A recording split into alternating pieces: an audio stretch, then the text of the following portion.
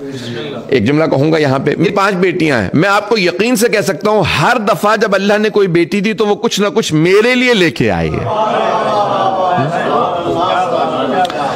मैंने खुद अपनी ज़िंदगी में महसूस किया कि ये जो हबीब खुदा ने फरमाया कि बेटी, रहमत है। तो जान गिरामी कोई ना कोई उसमें अल्लाह की हमत होती है।